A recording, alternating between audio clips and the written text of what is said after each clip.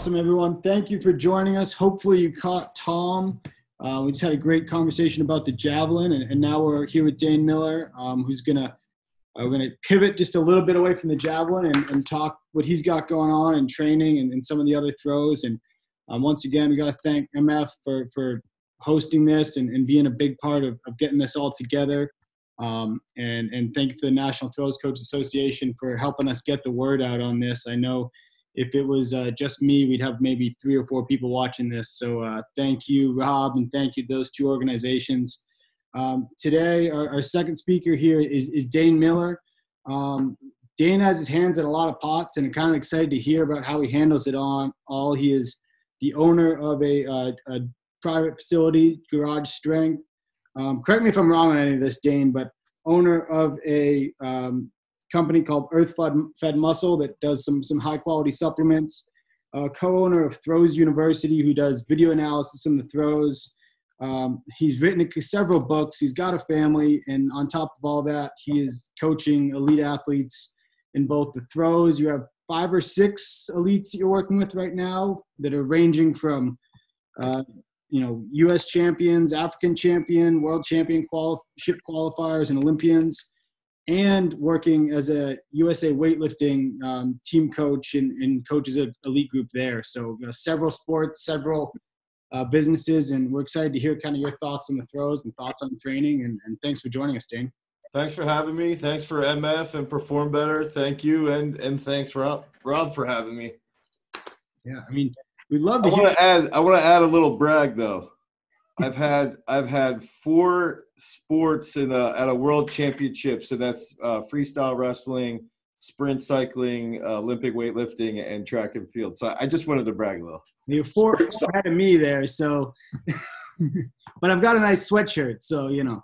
I was gonna comment on that actually. I do. I, I like it. It looks good. I, have got an earth-fed muscle one somewhere. Oh, good, good. I, uh, it's cold in my apartment, so. um, you know, we'd love to hear just a little bit about you and, and, kind of like your background. You know, what you did for sports and and how you got into coaching. Um, yeah, I, I, was a I was a shot putter. Um, I mean, honestly, in Pennsylvania, uh, to give you a little bit longer backstory, I, I, grew up wrestling, and I, I was a football player. Um, and I, I swam growing up, but I, I, wrestled, I played football, and then around my sophomore year of high school, my you know I, I decided to stop playing baseball. I wanted to go out for track, and um, I ended up breaking my arm my junior year of wrestling. I was like gung ho wrestling. That's all I wanted to do, and and uh, I broke my arm and then I, I did really well that year. I didn't, I lost my whole wrestling season. I did really well in track and then I, I did really well. And then I ended up winning the state title in Pennsylvania as a shot putter and I threw it. I ended up going to Penn State to throw. Um, so my background's like wrestling, football, and and, uh, and track and field. And um, I went to Penn State and and honestly, I think what, what got me into to coaching the most is I, I was always interested in sports performance and and training and and and theory and stuff like that. And you know, my dad uh, growing up was a avid lifter, um, so I was always pretty interested in it. And uh, he, you know, my what he my my Christmas gift for my sophomore year of high school was a pair of bumper plates, right? So it was like he was always very supportive and, and always like really positive and and like just motivational you know? He was never uh, overbearing or you know sort of like the crazy i mean he's a crazy dad but he wasn't like a, a crazy obnoxious dad that would that would sort of get upset if i didn't do well right? And i and i think what what for me was that when i was at penn state i i did i had a serious drinking problem. Um i you know, I, I threw 1746 as a freshman. I, I, qualified for NCAAs as a sophomore, and then everything else just nosedive right into a bottle, right? And it was like, I, I felt like that um, that experience, the last three years of college, I was just depressed and pathetic and, and just not in a good place mentally. Um, and I sort of wanted to salvage my career, and and and, and what ended up happening was uh, back when the ring was still around – uh, Anatoly Bondarchuk had a group in in Kamloops, and you know, Dylan Armstrong and Martin Bingisser had posted about having a training group, and I was going to go to Temple. I was I was a religious studies major. I was going to go to Temple to get to get my graduate degree in religious studies, and I was like, you know what? I'm either going to go try and be a professor in religious studies, or I want to I want to go to train under Dr. B and and that would be like my graduate degree and I would eventually try and open up a gym or be a coach or whatever. And and I, you know, I'll be honest, I can't speak or or read Hebrew or Greek, so my choice was essentially I had to go train with Dr. B and and it was that that's really what sparked me and being around him and how open he was to sharing information and and helping me one as a thrower who was not at Dylan's level, but also um, you know, just helping me uh, to learn the the science around coaching and all that, not just the actual uh, methodology, but also how to like coordinate with athletes and how to get into their head and and stuff like that. So that's sort of sparked what I wanted to do. And then when I came home, that's when I opened up Garage Strength, and then it, it sort of just took off from there. And that was 2008, fall of 2008, 2009. And, and you know, you've you open you open up garage strength and you know from a background in track and field you found yourself coaching you know at an elite level elite level not just in one sport but now um, two. And now you said you've, you've coached you know athletes in, in four different sports to a world championship level. How did that kind of, kind of come to be? And, and what are some of the things that kind of led you down that path and, and that diversity I think for me, you know, a lot of the stuff I learned from Dr. B was like always, always question everything you're doing and always try to learn from your athletes. So I would, I would bring in these books to him all the time. And, and, you know, so, you know, I'm 24, 20, yeah, 23, 24 at the time. And I'd show him all these books and, uh, you know, he would, he took Mel Siff and Verkhoshansky's book and he, he, he, I handed it to him like, what do you think? And he took it. He's like, this I dislike. He ripped me off, and in chapter four, he shows me about how he he didn't cite him properly and all this, and he's like, "You don't need, you don't need these," and and you know, and, and he's like, "You gotta, you know, in English, in uh, broken English, right? You've got to learn from your athletes. You always have to learn from your athletes, and so." I, I, you know, obviously I still read books and I and I want to learn the best methods that are out there and constantly get better. But the biggest thing that he said to me that stuck with me was always learn from your athletes. They're your best, they're your best, you know, tool of education. And I think that early on, you know, I started in a 400 square foot garage and then we turned it into 900 square feet. And then we bought a barn and we, we were in a barn and then we added on to the barn and then we, went from the barn to where we're at now, where we have a 10,000 square foot facility. And we had never taken out a loan or anything. Everything was just based off going back into the business, and um, which might have been a bad idea looking back, looking back on it. But um, it was always just for me as a coach. I wanted to to test my athletes and see what would work the best. And and I was also fortunate enough that. Uh, you know, Rob knows this going to, to Shippensburg for the PA state meets. But if, if you're in Pennsylvania and you win a state title, like you're sort of like you put up on that pedestal, especially in local small towns. And that's basically where I'm from. It's like I was put up, you know, people knew who I was, and I, I was an all-state football player, so that also helped. Um, and my my dad was is a was popular in the wrestling community, and and people knew who I was from wrestling too. And so uh, I got a lot of really good wrestlers early on, and and one of my first wrestling clients is essentially how I got hooked into the freestyle wrestling world, which is where I've had, you know, Nick Gwiazdowski has medaled at world championships twice. Um, and that's, it's just been this, you know, constant learning. And, and, and that's one thing, even with my best athletes, uh, you know, I've learned from, from sixth, seventh grade, eighth graders, and I've learned from, you know, Sam Mattis, who's a world finalist, you know, and, and I think that, open I, am trying to be open-minded i try to constantly be progressive. And i also like to pick other coaches brains and really um, you know really get a get into what they're thinking and what their thought process is. And then and then always like having my puzzle my piece of the puzzle and where i could pick and choose and like where it would go into my puzzle right? So i think i think knowing that everybody has different systems and everybody's system works to a point and then where do those other people's systems if i hear something how can i piece that in and i think that's something i'm I'm pretty good with that aspect of coaching. So I think that I think that's sort of how it, it developed from you know from the time we did open up until where we're at right now. Very cool.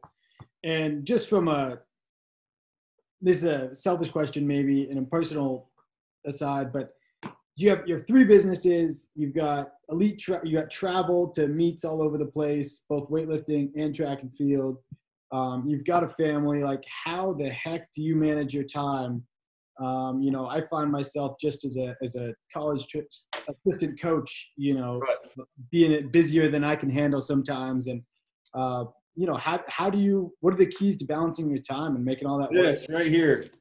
So I have like. Uh, I put in I put this is this is my planner and it's just like every single day I have in you know what are my big three wins for today? What am I going to do? And then I have the my week laid out and I, and I, and I'm I'm I'm serious this saves my life. It's it's called the it, you know I'm not I'm not trying to I don't sell this for the guy. It's called the full focus planner but that's what I use. And then I, we also have a project management tool uh, called Asana and that has saved me with our with our business. Um, and and to be fair like i don't work at earthfed muscle anymore. When when we were developing it you know early on like the first five years up until last year i was working i was working like 80 plus hours a week. And then my co-owner and i were 50 50 we were just like hey i i, I told him I, I don't want to work in earthfed muscle anymore. My my passion is coaching. My I want to be the best throws coach I could possibly be. I want to be the best weightlifting coach I can be,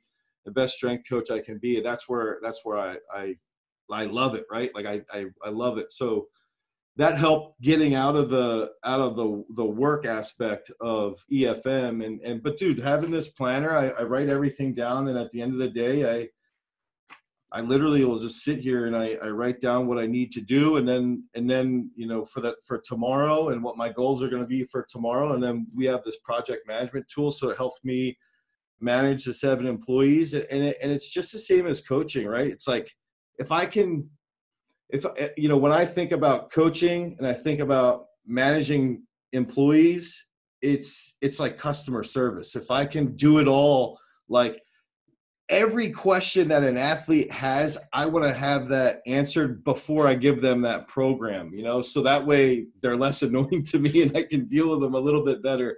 And I think that that's, I think that's helped me. I, it's not something I've been good at, right? Like I've, dude, I've been a disaster with, with uh, time management and, and I've been a disaster with organization and I've been, if you saw, if you saw, you know, when we first started earth fed muscle i didn't even have a, a, google drive account. I didn't have you know with garage strength i used to put my my programs on the wall in in notes and i would write notes and assign it to people and then it's just like you know I, when i started garage strength i didn't even own a cell phone. So i think like uh, which is pathetic in 2008 but but i i think that's you know I've tried to I try to progress and, and I try to keep up with it and and for me, the best thing is going home to see my kids and jumping on the trampoline and spending time with my wife and my four kids. So it's like the better I've been uh, at coaching and organizing my time, and the in in the uh, the more I value my time and the more I construct organization with my time, the more I get to spend with them as well. And that's where that's what I care about. So I, I prioritize it. Whereas before I didn't have kids, I didn't prioritize my time management. I think that that's that's what held me back for a while from a business perspective, you know. And I think that that's that has made me a better coach too. I I will say too, I do have urgency. Like I have a if I have an idea, I'm like I gotta do this. I gotta go do this right away, right? So I'm very urgent with stuff, which can be a detriment. But as far as planning is concerned, if it's if I if I have something I want to do, I'm going to do it because of that urgency. And I don't know if that's like a my dad's a little like that. My brother and my sister are like that. You know, my mom's a little more laid back, but but we're the three kids, uh, my brother, my sister, and I. We're all pretty urgent, and and uh, mm-hmm. I think that helps too. You know. Nice. I uh, one of our our uh, our tennis coach has a, has a saying that I, I I've been trying to live by a little bit better. Ohio. She says is an acronym she puts up called Ohio. It's only handle it once. Like once Yeah, you, yeah, yeah. once you open something, just like finish it. And so Right. that's how you that's how you live. I try to. I'm not saying I'm perfect, but I try. I try my best. Yeah. And um, so how did you like you developed garage strength? You're coaching some wrestlers, um, and you know you got your general pop clients. How did you decide to kind of develop that into like Olympic lifting and having a throws club and having your general you know general pop clients as well? Yeah. So the the Olympic weightlifting part's a little. It's a little interesting. Is that um, I was full blown throws wrestling and, and football training and um, and and so you know we did the Olympic lifts. So we would snatch, we would clean, uh, we would do jerks, but do them separately. Uh, high bar back squats, all this stuff, right? But I had never, I had never done anything, and with the sport of Olympic weightlifting. Now, for me, I had at the time that we got into it, I had snatched a little over 300 pounds, but on on a rusty bar that didn't spin. I didn't use a hook grip. I, I jerked, you know, over 400 or whatever, but nothing. I was never trained in it, and I actually think that's partially what helped me sort of rise pretty quickly in weightlifting. And we had a shot putter who was, you know, he's a sophomore throwing like 50 feet, but he was really little. Um, and his name was Tanner Reichert. And, and he was, you know, cleaning like 300 pounds, snatching 230 as a sophomore in high school.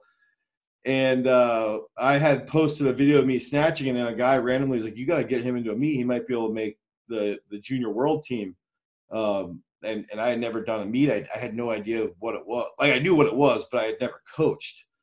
So the I always tell this. I, I love this story. Is that 2012 the the day the first meet I coached was 2012, the day of the opening ceremonies in London, and and and by 2016, I was coaching Norik Vardanian at the Olympic trials. But I I think in in weightlifting, and I think a lot of that has to do with, you know, just again going back to throwing, going back to what I learned from Dr. B, and and learning, you know, from your athletes. But really, it came back to uh, power development, mobility, strength, acceleration, and, and, stability, and and that's what we use to train the athletes. And so that um, that's how we got into the the weightlifting side. I forget the other part of your question. No, no, that that that covered it. And um, you know, I'm, I'm curious as a as a track and field coach. I you know I don't compete in weightlifting, but I I find it interesting and, and kind of do it as a hobby. Um, I'm curious, what have you like your experience in weightlifting? How has that affected you know how you coach throws? And yeah, yeah, yeah. Okay, okay. So, so the way I base my programming is sort of I have I have what's called that athlete reactive analysis. So I try to see, you know, if I have Sam or my or or Rachel's thrown 1850 or or you know Alex throws. Uh, the way I lay out their throws is I have them with specific implemented implements that are weighted like two fives, two two fives, two Ks, or, or for for shot put, whatever you know, various weights. Then I have a, a set scheme of you know snatch or snatch variation, and then the clean or clean variation, and then squats, and then and then we we prescribe this this lift, and we try to pair it with these implements, and then we track how they're feeling um, throughout the program, and then that's how we set up their peak. Uh, and, and what's helped is that I can really see in weightlifting because weightlifting is is um, it doesn't have as many moving pieces as throwing does. Mm. It's easier for me to gauge how an athlete responds to different uh, types of stimulus. So when I when I try to characterize three athletes that I have, I sort of lump them into three different groups, and then I know how each one's going to handle specific types of cues, specific types of intensity, heavy, light, whatever, competitive. And then I try to, I, I, sort of use my weightlifting realm to run tests, and then I sort of bring that over to the throwing world uh, and, and use that on our high schoolers and our college and or post collegiates. And then that's that's sort of how they're paired together. And I and I know um, you know how many how long it might take for somebody like Sam to to to back off and, and to hit a peak or or to not back off and, and sort of push it a little bit more depending on their type.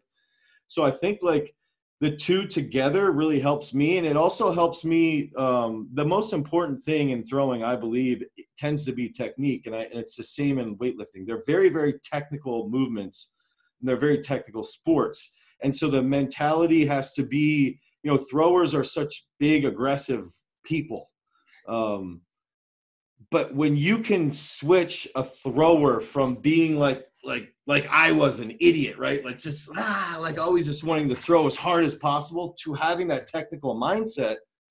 Now they can get into a meet, and if something's not going right, they think logically instead of emotionally. And I think that's the biggest part with Olympic weightlifting is you if you want to be a good weightlifter, you've got to be logical with your thought process. Yes, there's times that you've got to increase your your intensity and your aggressiveness, right? But but the technique and, and the technical mindedness, the technical literacy has to be the the most important aspect. And so when when our goal and, and what we do here is is like everything has to be to get the mindset of the athlete to be technically minded and then aggressive, not emotional first. Uh, it's always got to be technical first, and I think that that's how that's helped me um, see movement better, and it's helped me as a coach being in weightlifting. Um, it's helped me to understand movement and and to to to see how you know mobility issues can impact performance and and stuff like that but ultimately it comes back to that that big mindset change you know yeah that's very cool um and and what are some of the biggest similarities and differences you see you know between you know the training or the type of person that's doing the olympic lifting and throwing or, or the biggest similarities and differences you see between those two sports I think it depends on the individual, really. Those three athletes. Some of the, I, would say, the the throwers are always going to go after it a little bit more. Like weightlifters, they lift so much, so regularly. Like for the for the way I set up the throws, we we lift five days a week, but it's really like the first two days of the week is the higher intensity, and then we sort of back off during the week. Um, with the weightlifters, though, it, it's it's quite a bit more intense later in the week, and and the weightlifters are always just sort of going to follow what I want them to do. Whereas the throwers, you know, if I if I'm downstairs with them and I go to the bathroom, I come back and there's like 20 extra kilos on the bar, and I'm sitting there, what are you doing? Why are you going after this? So I think the biggest difference is that, and that's even with the women, like they're they're much more aggressive. Um, to a fault, really. Like it, it, you know, the women and the men are, are just much more aggressive in throwing than they are in weightlifting. Um, and I and I think that's you know that's just a sport too. It's it's it's uh yeah and and and our we have a couple throwers to be fair that are like larger than life personalities. So they're they like that right. They feed off of that. They they they want to they want to push me. Like I'll be upstairs in the office, and, and if they're lifting and I'm not down there, it's like, hey Dan, I just you know Sam yesterday, I just tripled 182. It's like, why did you have 182 on the bar, but 400 pounds for a triple? You know, it's like I think that that's that's the biggest difference is that the the throwers love to just go heavy all the time and and and that's not the best really yeah um, I would have some throwers that would argue with you on that. So. Well, yeah, of course they would. It's like that. It's like that all the time. Like, yeah. Sam, why or, or or anybody down there, you know, why are we? Why are you benching this heavy right now? We have sets of six. Why do you have why do you have 89% of your max on the bar? It's like, well, I'm a thrower.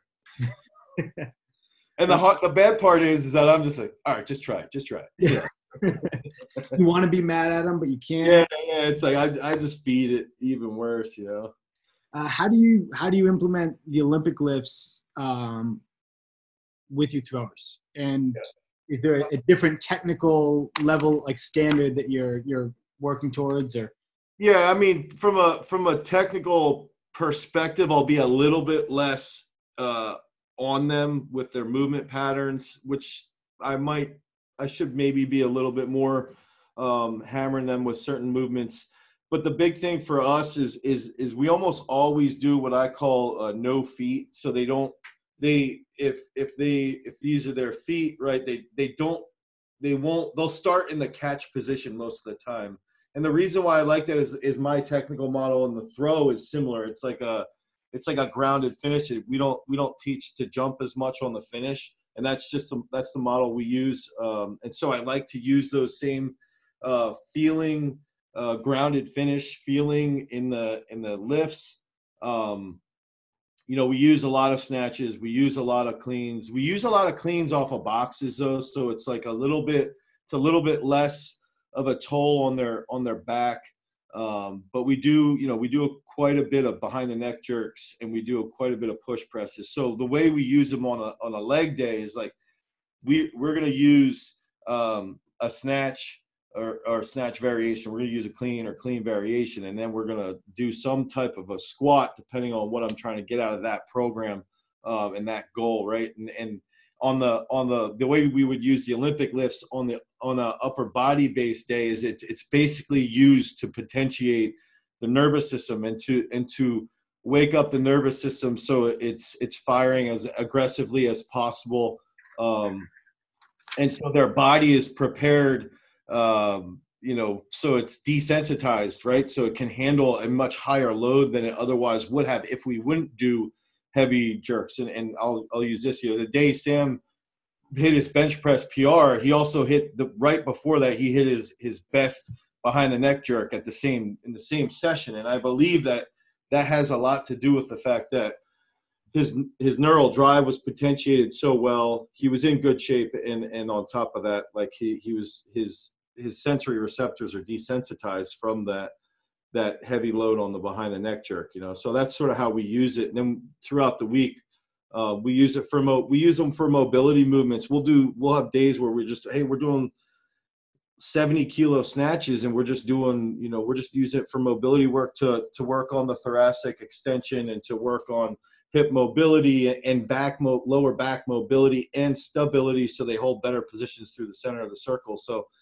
we use it a whole bunch of different ways. We get creative with it. We do some some middle mid grip work. And I'd like to say we use it for speed, we use it for strength, we use it for mobility, and I think that being creative with those exercises, it makes it you know unique, and it, and then I use it as that like that governor on them for when we're trying to peak. Very cool, um, and brings me to a different like similar topic of you know you've had success getting athletes to a high level in various sports and to me that like that screams this guy knows how to periodize or organize training. You know what I mean? And, and can adapt that to that model to whatever, you know, sport the athlete or calendar the athlete's working in. So I'm curious, you know, how do you approach periodizing your training and organizing training? And uh, Al Sheehan on YouTube put in a question of, of talk, could you talk about periodization through like a theoretical three month throwing season? Loaded question there. Yeah, through a three. So so I'm gonna do a little bit of branding here. Um, so I, I, it's it's sort of tough if in the realm of of sports performance or of periodization, right? You've got sort of like Dr. B, the complex method, and then you've got um, a guy named Dietmar Schmidt-Bleicher, who was like the first, the guy who did a lot of the research on undulating periodization. And so, what I've sort of done is in in in is is almost like combine these. It's it's like a form of undulating periodization, and I call it parabolic periodization. So what I try to do is that when my intensity is is high, my volume will be low, right? And it sort of crosses back and forth. But that would be like one almost parabola on our strength curve. But then we sort of factor in the implements, and that's where the implements sort of sort of um, create this relationship with what we're doing in the weight room and that's dependent upon the athletes some athletes they need high volume and they need a, a, lot of throws and a heavy implement and some of them need low volume and and high high throws it just depends like there's those three types that i talked about earlier that i use and and and the big key is just figuring out like okay does does this athlete throw you know a heavy implement with a light implement does that bump up their competitive shot or discus? Or is it better to have a competitive implement with a heavy or a competitive with a light? And how do they react? And and that's also based around what we're doing in the weight room. So out of a three month time frame, um, you know, with our high schoolers, what we almost always like to do is, is the weather is terrible in Pennsylvania up until like right now, early May. uh, even though it's still pretty terrible right now. But we'll we'll we'll try and push through like that first two weeks. Um, so like middle March to April, early April, and then we might take a, a step back like that first week of April a little bit. Um, and then our big test event basically is Penn Relays and that's at the end of april. So we might have like we back off of them a little bit in the weight room for like a week but then we want to push and we want to try and figure out by Penn Relays all right are we going to peak them at states? Are we going to peak them with a heavy shot or discus? Or are we going to peak them with a light shot or light discus right? And then it's and that's relative to their competitive implement. Um, and and keep in mind these high school kids these are guys that are these are women men and women that are thrown with us like five or six days a week. They're they're here pretty regularly. Um and you know they they they're into it. They're they're full bought they're fully bought into it. So you know that's how we we set it up then is that by by Penn Relays we'll figure out what what each athlete needs.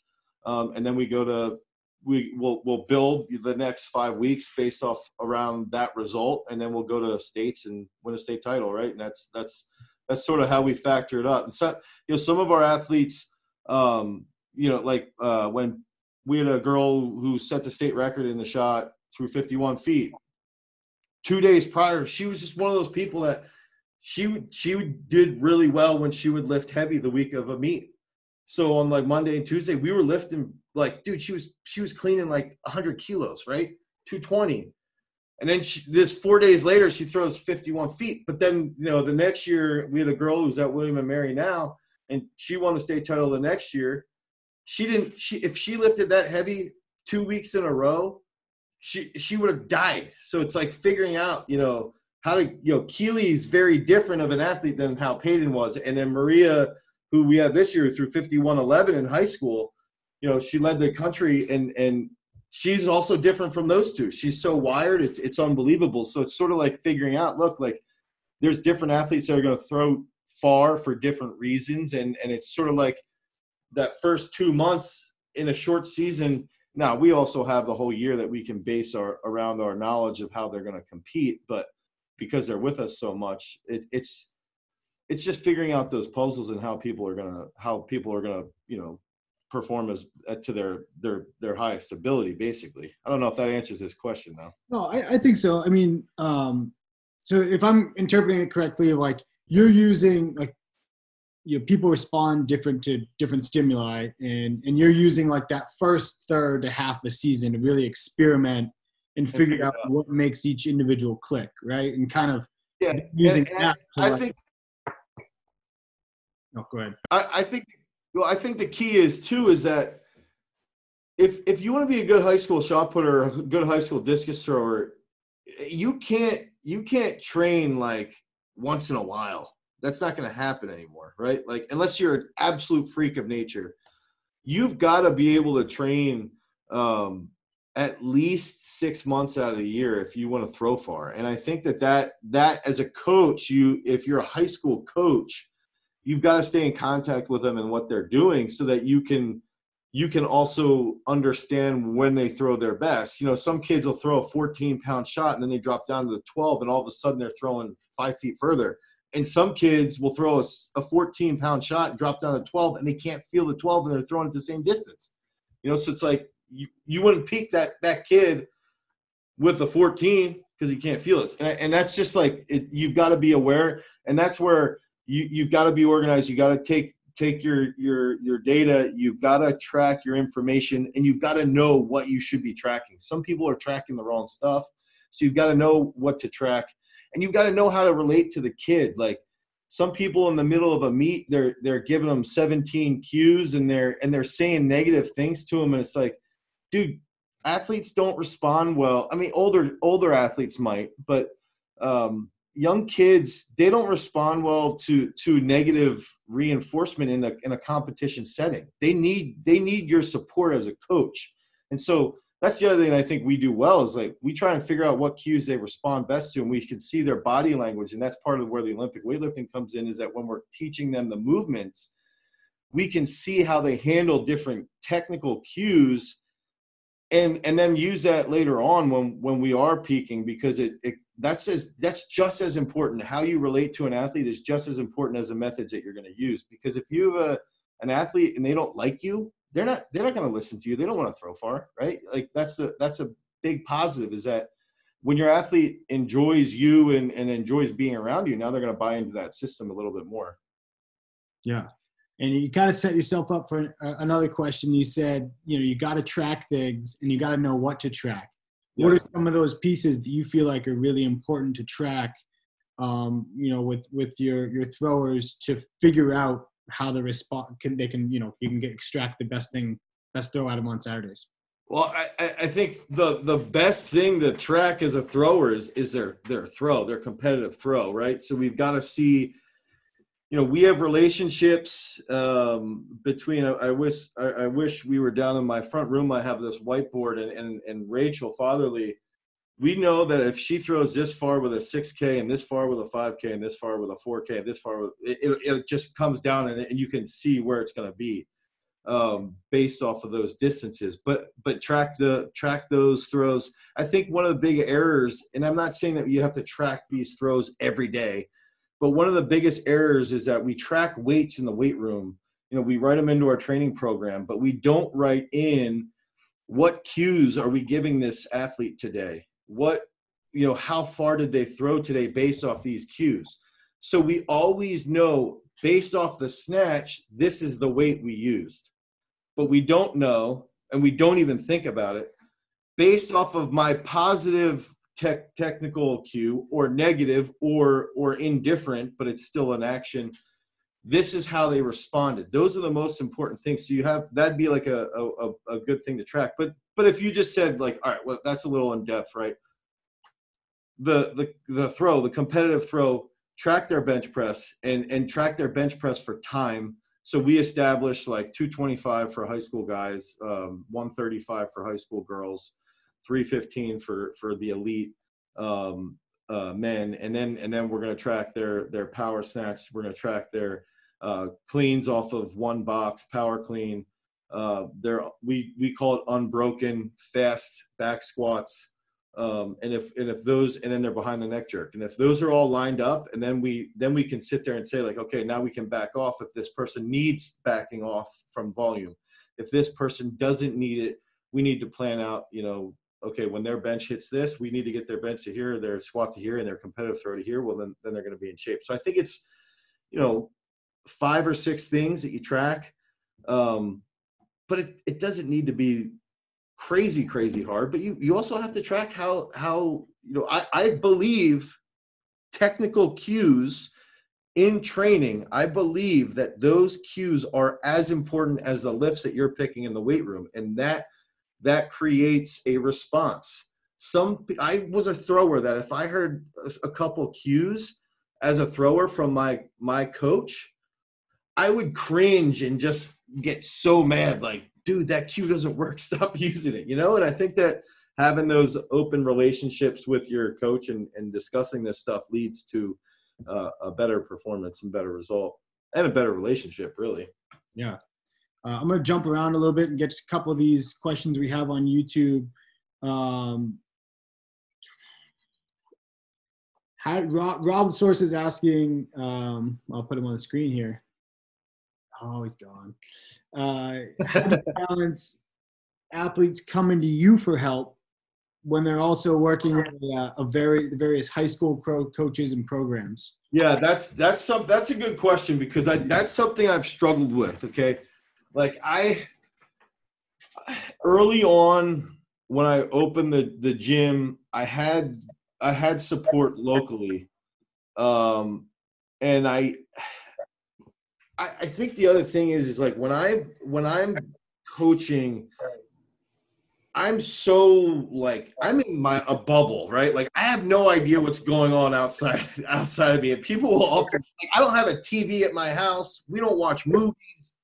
All I think about is coaching. And so when I first got into coaching, that's all I cared about. And and I had good support. But then when when we started to have, you know, regularly state champs and and and and success i started to to notice like people were were just not they didn't like it they they you know, especially I think because at the time I was younger, I was like 28 or 29. I think that had a negative part of it, and I also handled it poorly. I never, I never like approached other coaches and was like, "Hey, I want you to know your your athlete reached out to me. All I care about is getting them to win a state title. I don't care about hurting. I don't I don't want to step on your toes and hurt your feelings. I am only interested in getting this person to win a state title. If anybody walks through my door, the only thing I care about is can I get them to win a state title? Can I get them to win an NCAA title? Can I get them to the Olympics? That stuff. That stuff. So now, you know, cycling back around, um, we try to we try to talk to the high school coaches a bit more, and and now as we've been around a little bit longer, now now the high school coaches. Are you guys still there? Yeah, I'm still here. Okay, sorry, sorry. Now the, the high school coaches are are tending to like uh, engage with us a bit more and ask us uh, for help now too. So it was, I didn't handle it well for a while. I think I think as a coach now we should be reaching out at, least letting them know like, hey, this is our goal.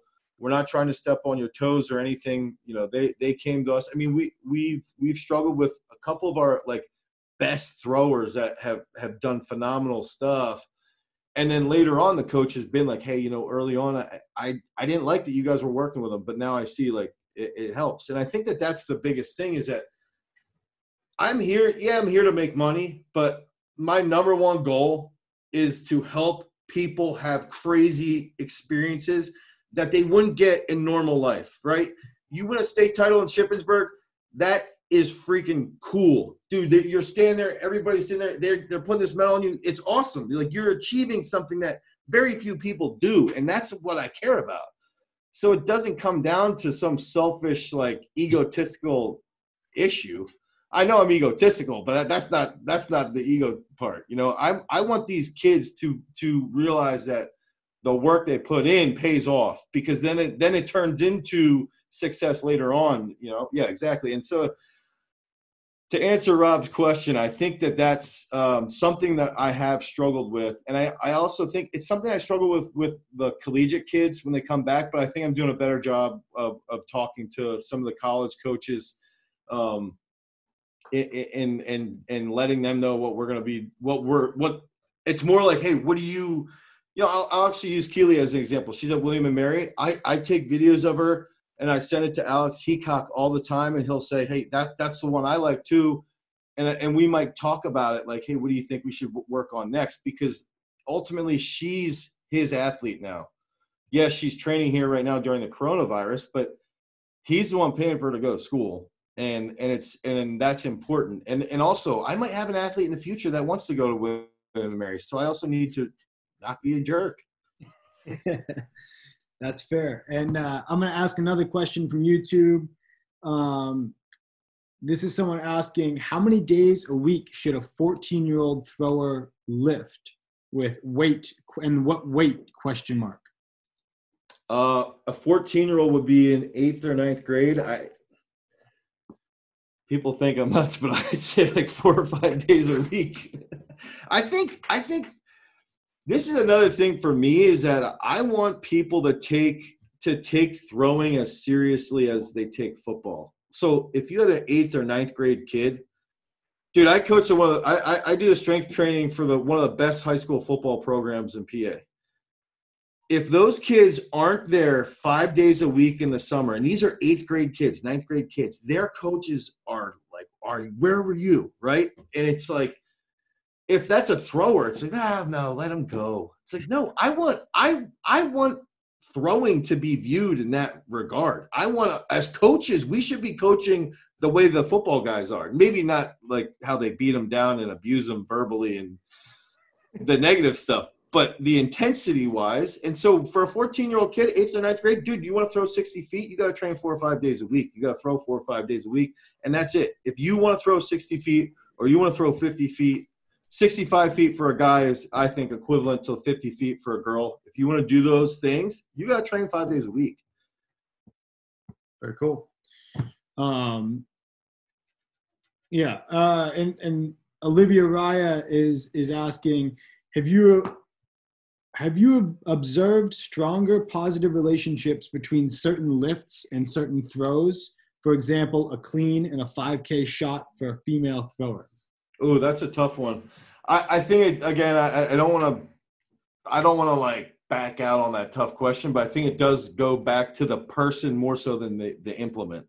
Mm. Um, dude, I will say though, every thrower, you know, this this is weird, is that I've seen a greater correlation in the bench press to the discus than I have to the shot. Um, and and I don't know if I, I, I have a theory that when you're benching here, the the relationship with your shoulder, even on like a, a, a normal grip, your pec is lengthened quite a bit here uh, with your ulna or humerus, sorry. And so like it's similar uh, relationship with where you are with the discus. Um, and I think that that force, it's so lengthened in your pec that it's similar to that same position in the discus here when you catch. So we go here, now we're out here. It's the same lengthening of the pec. I do think the bench has a little bit better carryover to the discus. Um, it, I mean, it still works for the shot. Obviously, it's still effective for the shot. I think the behind the neck jerk for the men is very, very positive in both of those. Um, I, I, think I think anything that you know we do a lot of when we're peaking, we do a lot of partial Olympic lifts. So like off of two boxes or off a high hang, and I think that that stuff correlates over to um, a higher a higher rate, like a higher twitch force, to use a sciencey term, and that that does have a good carryover. Um, but I think it's very it's very dependent upon the athlete. I think. Nice. Um, and one back, one of my questions: What are the biggest things? Um, so, and if I'm asking too many like planning training questions, shut me down. But I geek, I geek out on that stuff. So, what are the biggest things you think coaches and athletes overlook when they're planning their training? Um, whether it's their throws training, their strength training, whether right. other aspects. I think it's reps. I think they they overlook the effectiveness of of just dude the biggest thing i learned with dr b was dude you got to throw a lot you know and and um, i always relate it to um, you know to to going back to football or, or to wrestling. Like if you're wrestling if you if you wrestling is like you're gonna do your drills okay? But then you're always doing live drilling. You're gonna do live speed or you're gonna do like a live period that might just be like a like a flow type wrestling and and I think throwing needs to be a little bit more like that, where it's like we've got to get a lot of we've got to get a lot of full reps in, and we've got to get a lot of and we've got to have a technical goal for these sessions. Um, so throwing, you know, 20 to 25 full throws, but w- with a technical goal. And at some points, as coaches, also saying like five to 10 throws where you're just like hands off, like let them get into a, the groove too. So I think that that's something that we overlook, and we like to break down the throw quite a bit, and sometimes that can have a negative impact on that global throw.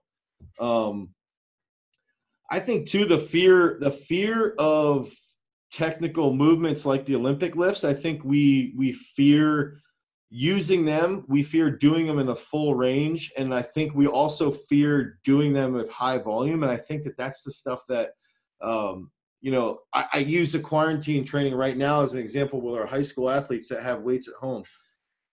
What are they going to do if all they have a barbell? If all they have is a barbell and bumper plates or a barbell and metal weights, what do you think I'm going to have them do? I'm going to have them snatch. I'm going to have them clean. I'm going to have them do floor bench or push press, and then they have to do front squats after they clean it.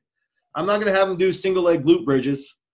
I might have them do that as like an accessory later on, but we're not doing that as like their main lift. We're not doing, uh, you know, exercises like that, we're, we're going to be doing big time movements because they have, you know, they don't have everything at their disposal. So they have minimal time to train down in their basement or in their shed, wherever they're at. So we're going to do the, the lifts that, that carry over and transfer the best. And they're, they're snatching, they're cleaning, they're doing full squats and, and they're benching, they're doing push presses, and then they're doing rows and stuff. But it's, it's like, I think there's a, there's a fear from a planning perspective, there's a worry all the time of like actually getting a lot of reps in in in in the Olympic lifts and in the in the in the throws too. And I think that we we like to break down into little pieces and it does need to happen at times. I'm i used to be super anti-drilling. I'm not that anti-drilling anymore but i am still i still see everything from that global movement really.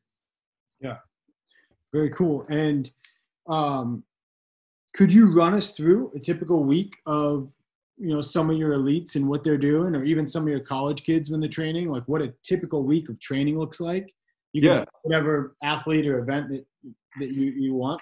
Um sundays we're we're gonna go ham. Uh that's like our day one. Um you know we're gonna go very intense in the throws. And sundays is like our craziest lifting day. Um and Sundays is like the day. It, I sort of feel bad. People come here to train on Sundays, and they come in and and like it's packed with throwers, and it's also like the energy is just crazy. It's it's like, and, and that's the other thing that we have that it's not just like the methods. It's it's the energy. It's it's a culture here, and that's that's what's cool, right? And it's people learn how to train in that environment. So Sundays usually heavy throws, heavy uh, lifting uh, mainly, it's going to be uh, lower body Olympic lift, uh, squat base, and then sun or Mondays it's going to be uh, more throws work. Depending on how they respond, sometimes Mondays might be like a, a, a very technical session where I'll just be like, "Yo, we're going 60 to 70 percent in the throws." But some people throw really well the day after they lift really heavy, and then the third day they suck.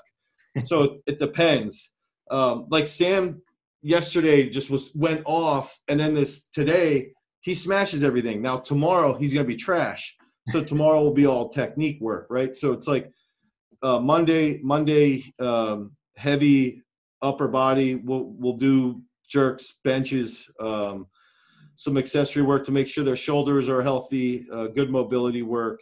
Um, and then and then the day three would be Tuesday or Wednesday. We're gonna do uh, we call that athlete day so we're just like mobility a lot of mobility stuff a lot of like proprioception stuff a lot of um, plyometrics after they do their good warm up and they're they're uh, they're like starting to loosen up. It's a it's a much uh, lower intensity training session.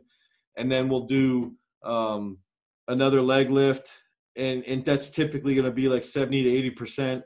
Um, they might push it if they're feeling good if they have a lot of caffeine and then the and then that um, the last day of the week we'll do a lot of like shoulder stability work and um, some slower eccentric with with speed movements uh, on the bench or on the incline. Um, and then you know then they'll throw friday then they'll just they'll just throw friday. And sometimes they like to switch where they might be like hey can we do the upper body day friday so that they'll throw Thursday and then Friday they feel fresh. And I, and I might plan, if we had a season, sometimes I'll say like, we'll use that as like the test day. So I'll let them have caffeine Friday before we throw if they have off the day before in the weight room. So it seems this might be overgeneralizing, but it seems like you take advantage of the beginning of that week when they're fresh, yeah. hammer, and then it kind of just slows down as far as intensity of. Training. And then by by Friday they feel pretty good. Yeah. Okay. Good. So like Friday, they'll they'll feel good, and that's that can be when they they can come back up and and and blow up. Now I've had you know some athletes that that do well um, with a little bit higher intensity in the middle of the week, but I I think for longevity, it's it's better to sort of have two or three days that it's like very technically focused. Um, and the good thing is, is they take that just as serious as they do as the days that I mean, for the most part, they take the technical days just as serious as they do um, the high intensity days. You know. Yeah. Um, and you mentioned like part of the effectiveness not just being the X and O's, but the culture. Like you have a good kind of uh, presence on Instagram, so I've seen some of your you know the stuff, and it seems like a really upbeat environment.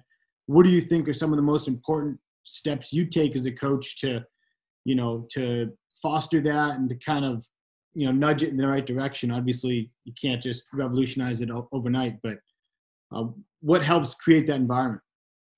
I think just being positive and and and like, I can, it's funny I say that because they always say I'm always criticizing them and yelling at them, but I think it's I think it's like uh it's like the golden rule, right? You know, if if I treat them well and I'm clear about my expectations, if they know my expectations and they know what I want out of each program or each block, then they then then we're on the same page. And they also know my goals. And and and this goes back to my personal life, right? Like they know I have four kids and a, and a wife, and I've got other businesses, and they know how much I value throwing, and they know how much I value the weightlifters and, and all that. They know this, so they know, and they know my dreams, right? I have I have serious dreams. I have I have uh, like goals that I have personally as a coach that I want to accomplish, and that I want to do it with these guys. I want to do it with everybody in my gym.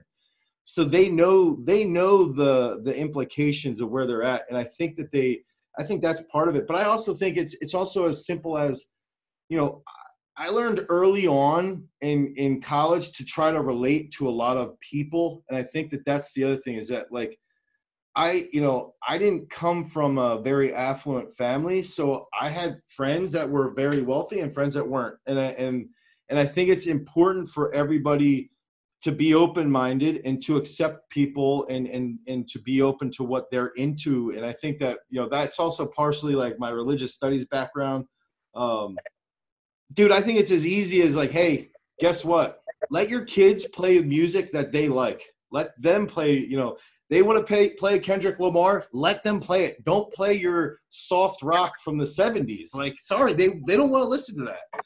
And i think that that's that's something my dad taught me because I, you know, when we were coming up, we would listen to Rage Against the Machine, and my dad, like, no, you know, I want to listen to the Stones and Led Zeppelin, and and then what's funny is later on, that's all I want to listen to now, right? But it's like that he let us play what we wanted to play. We were playing Beastie Boys, and he's like, "What is this music?" But he didn't care, and I think that that's something that I sort of brought with me here is like dude that's that's a really quick way to to relate to kids is to let them listen to the music they like and that that creates their environment you know obviously there's got to be uh, a little bit of control over if if you've got young kids in the gym um but i think that's an easy trick that i do that and i'm into their culture. The like i i try to know um like modern music is one of the few things i'm actually good at knowing in pop culture whereas not necessarily pop, but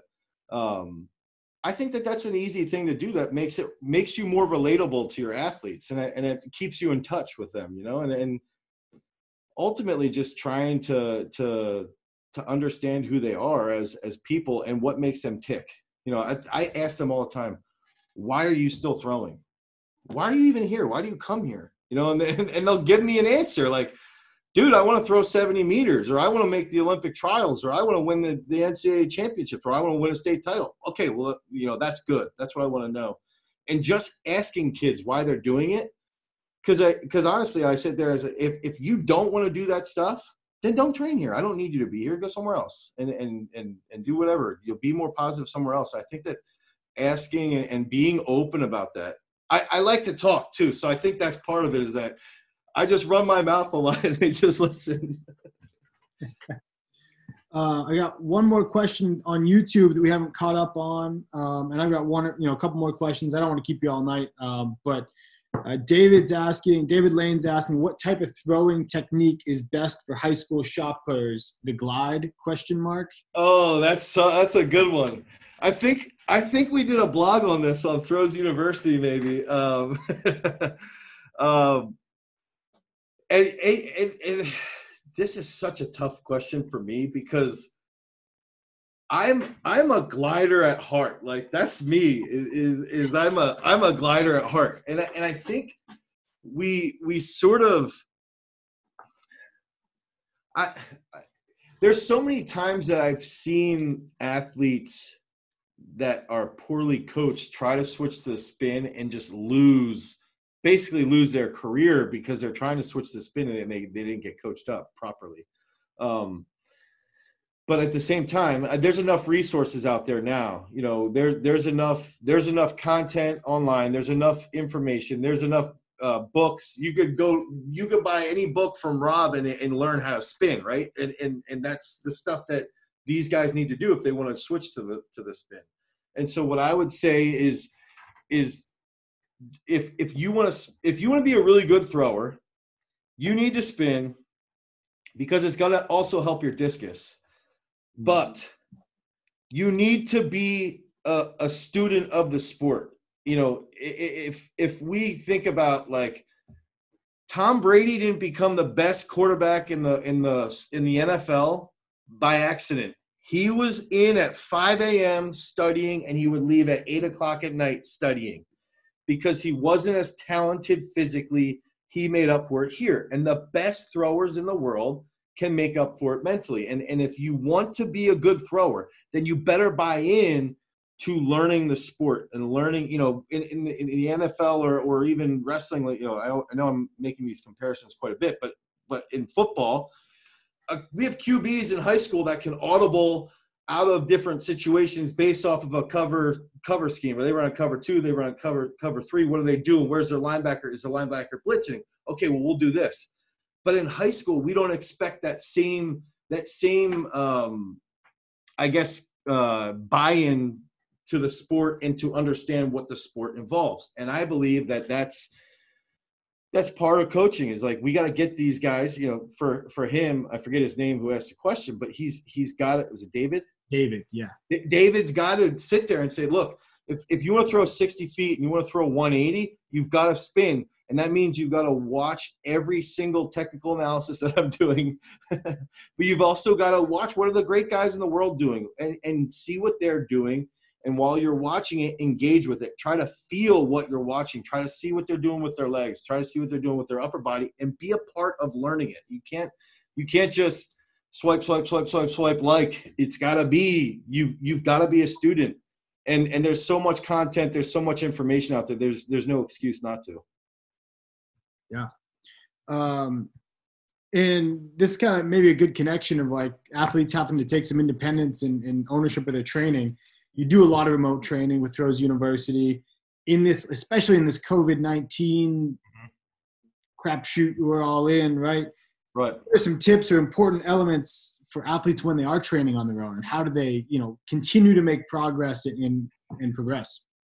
I'll say this, you know, I, I, our high school kids, you know, it's funny because I'm saying all this stuff, but but I we I do tend to be I do sometimes handhold my my kids where not my own kids, my own kids I don't do that with, but my own athletes, I'll be like, all right, this is a step-by-step process of what we're going to do today. But what has happened, and, and Trevor's pointed this out, is is that our high school kids that we've seen during this craziness, like during this uh, tragedy that's going on, have matured so much because they've they've learned that question that I brought up earlier. Why are you throwing? What is it in here that makes you throw? What makes you tick to go out to the circle when it's snowing and and the shot's cold and you don't want to be out there and and you don't want to lift. You know, you'd rather be inside, right? And, and what makes you do that? And I think that what I would would urge, you know, high school kids now is really like, why are you doing this? we're if you're doing it, you're likely doing it because when the shot comes off your hand and you throw a bomb, it feels better than anything, right? It's it's it's uh, you know John Calmus when he threw 20 meters, he called me up He goes, if I could put this feeling into a pill, I'd be a billionaire. And that's the whole thing. That's the whole thing about throwing. That's what makes it so cool, is that it's that emotional experience. And so these kids now are maturing quicker than they otherwise would have because they have to figure out do I really want to go out and throw five days a week, six days a week? Do I really want to lift four or five days a week? And they are. They're doing it. They're they're pushing themselves.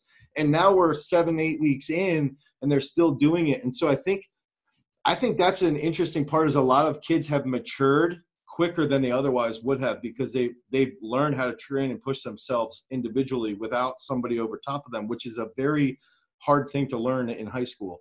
Um, but as far as being at the circle, I, I always think it's it's best if you took like two or three throws and you and if you if you don't have a coach um, there or you don't you don't you're not getting a technical analysis or you're not following a script I, I would recommend hey you go to practice with one or two technical focuses that that you want to have and then you take you take your throws you warm up maybe you take five or six easy throws. You start to establish how you're feeling, and then you t- take two or three videos. But you you take two or three throws and you and you have it videoed, and then you can go back and you look at what happened those last three throws, and then you do that again. You batch it like two or three times, and then you just sit there. You say, all right, these last six throws, eight throws, I'm going ham. I'm going to go as hard as I can and I'm not, you know, maybe I'm, I'm going to have one technical cue and I'm going to try and improve from what I did. And then I got to go lift. Right. So I think that that's, that's a beneficial way to sort of, and that's going to help those kids learn technique too, because they're going to start to see things and feel things and, and, and they're going to understand, they're going to have those epiphanies, like those technical epiphanies where you're like, oh my God, why didn't I realize this two years ago? So I think that that's, I think that's also the best way to turn this current situation into a very big positive. We've got a kid, uh, Jeff Klein. Dude, I feel terrible for him. He he threw 64 feet indoors. Um, he would have he would have mowed down the outdoor state title. Like he would have just destroyed it. He probably would have thrown 67 feet. Now he's he's not going to get to throw. And right now he's dropping bombs, but he's matured. He's like he's matured drastically just because he's going out I come to work at 7:30 in the morning. I get here at 7:30.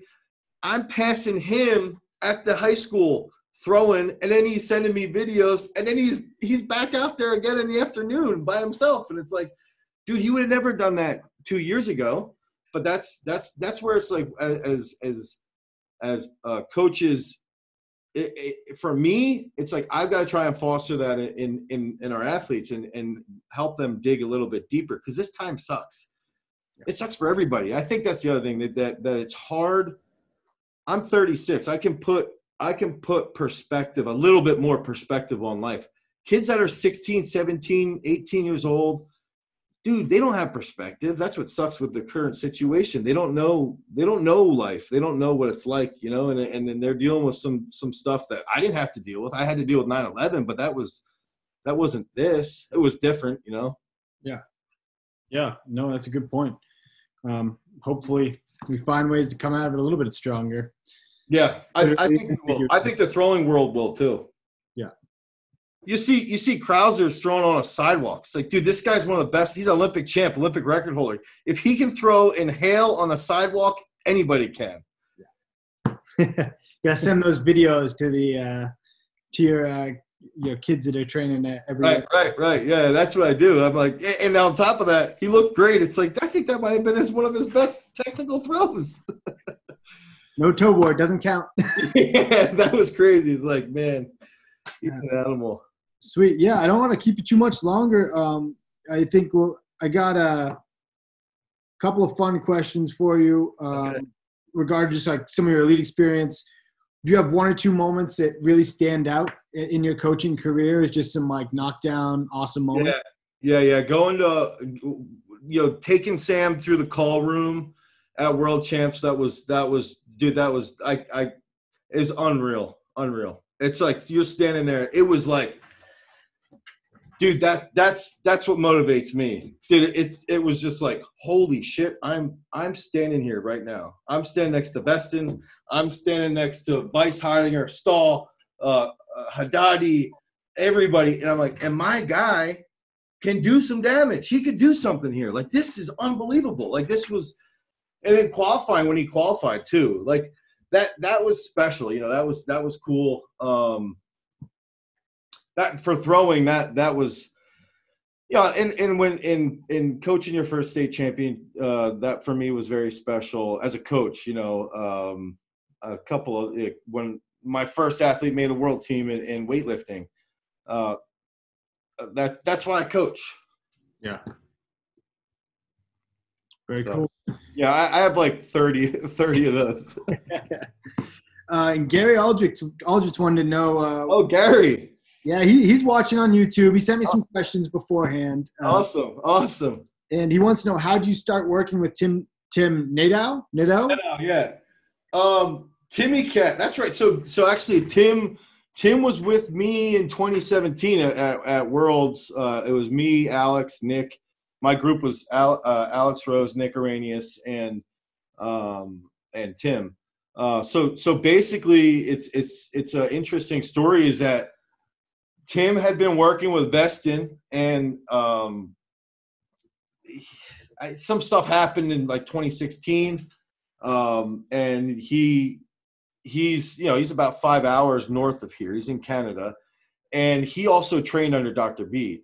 So I, I had known him a little bit. I didn't know him much, but I knew him a little bit. And so with Tim, um, I'm close. You know, I coach Nick Arrhenius, and I, and I sort of coach Leif, his brother, and they're tight with Tim because of Vésteinn. They have a mutual connection connection with Vésteinn because Nick throws for Sweden, and so um, we would have these group chats going, uh, text messages, and Tim would send me videos, and then he he just hit me up. He's like, "Hey, can, can would you be interested in coaching me?" And, and I was, "Yeah, yeah, for sure." Now, um, so we co- I coached him for two years, and then Athletics Canada. Um, they, they, they, Athletics Canada wanted him to work with a Canadian coach, and now he doesn't really have one. But he's, dude, he's a good guy. He's a really good dude, and, he, and he's, he's a beast, right? You know, he's a, he's a machine. Um, sweet. And uh, I, I, I wanted to add one of the cooler experiences too was when yeah. Alex Alex Rose qualified for for Rio. I, this I just thought about this because when Alex threw 65 indoors this year, that was cool. But when he Alex was my first athlete to qualify for the Olympics, and that you know getting a it, it sucks I wasn't there, but I was there when he qualified for Tokyo, so that was cool. But the first time you know, my son, my second son, Sanderson, had just been born, and it was like the next day, dude, you know, he did it, and it's like, holy crap! I, this kid threw 59 meters last year. Now he's throwing 65. This was awesome. That that was that was a one of those one of those real special moments, you know. Nice. Uh, I didn't want to leave Alex out. He would get mad. and uh, one last question, and then we'll. I know you could probably need to go get dinner and all that good stuff, and, and spend some time with the kids. But um, Rob wants to know where when do you get your workouts in for the day? Yo, Rob's saying that he's still probably benching 405 over there for reps. Yeah. um, for you know, Rob's Rob's best deadlift, he, he would take my max deadlift and do that for a set of 10 right now. Rob had the world record in the deadlift at one point. Um, that is true, right, Rob? I, I, if I remember, yeah. Long, long time ago. um, yeah. What for me? So, so the way I set up the schedule with coaching is is I I, I have my uh, morning session weightlifters, which are the the weightlifters that train twice a day. Um, and then I got the throwers come in, and then and then the weightlifters in the afternoon. And so when they when they train at like 10:30 in the morning, I go down and I try and set it up so so my my one of my best senior lifters, Jake Horse, he's a national champ, made Pan Am champs. Uh, he's been a junior world team member. He's a stud. He's 67k. He also works for me, so he actually has his primary session only once a day, and and I I need to be there with him to coach him, but I also got to work out because if I don't work out, my head I just lose my head. I can't handle stress at all. I can't handle it. And so when Jake trains at 10:30 in the morning, I go down and I train with him. Um, and what's funny is lately he's been starting to squat close to what I can squat. So I'm like, I'm getting motivated to get my squat up because he's he's only a 60 a 67k lifter. So it's like it that's when I train. Now he also makes fun of me because I'll be coaching him with snatch technique and I'm doing bicep curls while he's snatching. nice. Yeah, so that's when I do it. Awesome. Sometimes, sometimes if we're throwing inside because of snow, I'll, I'll ride on the ball bike. But I haven't been doing that, and I've gotten fatter since COVID hit. I, I've gained like 12 pounds. You're not the only one, man. You are not the only one. My wife's like, you haven't drank like this since Lincoln was a year old, and you drink more, and you're getting fatter. yep. yeah. yeah. Uh, awesome. That might be a good way to end it right there. Awesome. Well, uh, Dane, I appreciate you. I appreciate you taking the time. Um, and I want to thanks to MF for doing this and perform better. This is this is good stuff. I think this is what what the throwing world needs stuff like this, and and this is where for me at Throws University I fail to do more things like this. So Rob, thank you. Thanks. Perform better, MF for for what you guys do and for this. I think this is this is awesome. Thank you, Dan. This was great. This Yeah. is tremendous. Thank you.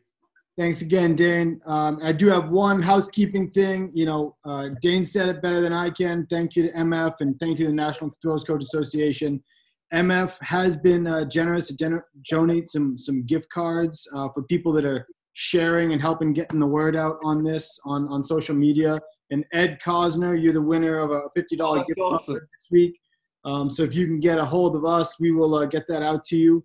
Uh, I'll, I'll put my email and we can get you in contact with Rob um, as well. So again, big thanks to Rob, big thanks to Dane, big thanks to Tom earlier. Um, you know, we'll, we'll keep doing this, and, and if we can't coach, let's let's learn a little bit while we're uh, cooped up. So uh, with that, we'll uh, we'll end the live stream, and, and uh, thank you all for tuning in. Thank you. Brendan, am I on? Can you want to Yep, tell you're- them who we got next week? Oh yeah, we've uh, yeah. You want to uh, you want to announce it, Rob? No, go ahead. Oh, okay. next week we're gonna do another uh another double feature. Um sorry i was gonna see if i could bring up the uh um no i don't have i don't have it up. Uh, we're gonna have al Fereshetian of bates kick us off and he's gonna talk about a queuing system he's been developing for the last couple years.